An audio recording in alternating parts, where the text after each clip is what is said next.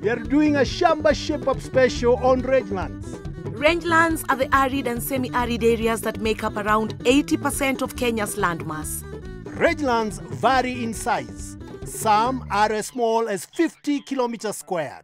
But most are huge. Some in the arid desert areas of Turkana, Marsabit, and Wajir, for example, are over 5,000 kilometers squared. Rangelands are mostly community lands. One of the reasons they are so important is because pastoralists use them for grazing livestock. Most of Kenya's red meat comes from areas like this, so they are a vital resource for the whole country. Let's go find out about them So join us. on Shamba Shape Up. Rangelands are important, but they are also under threat. Over the years, pastoral livelihoods and land management practices have changed. And now, climate change is only making matters worse.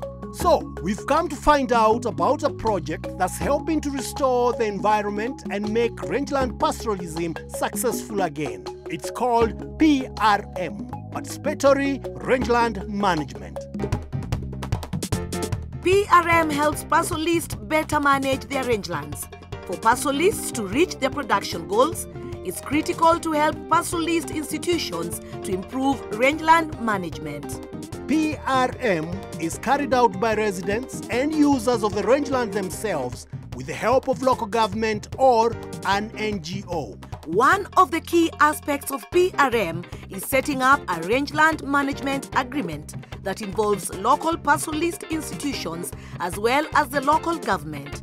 Sometimes this means that a formal agreement needs to be made that outlines commonly owned rangelands. To help us understand all this, I've come to meet Ken Otieno, the Executive Director of the Resource Conflict Institute, Reconcile, an NGO helping implement PRM. Although I'm not quite sure where Ken is. Part of the problem of restoring degraded rangelands is the spread of invasive species like this cactus, smothering the native plants. PRM aims to bring these degraded lands back to full health. Ah, there's Ken. Now, I want to ask him to take us through the PRM story from the beginning. So, now, what are rangelands? Rangelands are these dry spaces. They support pastoralism as the main livelihood system. Why are they important?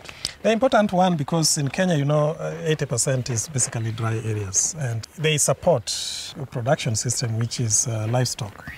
And uh, two, they are also important for wildlife conservation and management. They demonstrate the total ecological coexistence, where you'll find livestock, you'll find people all together. What are the benefits of rangeland management so far? Very many. One, you'd see that uh, they can uh, rehabilitate degraded rangelands. Now, communities have learned that they can remove all the, these invasive species. They can do reseeding, you know, have more grass in uh, places that they've identified. But also, farmers have um, identified the importance of collective work, but also taking up as individual farmers so that they do it in their small private farms, but also look at the bigger uh, well being of uh, rangelands because rangelands consists of uh, livestock, people, and environment. Are the communities in harmony now?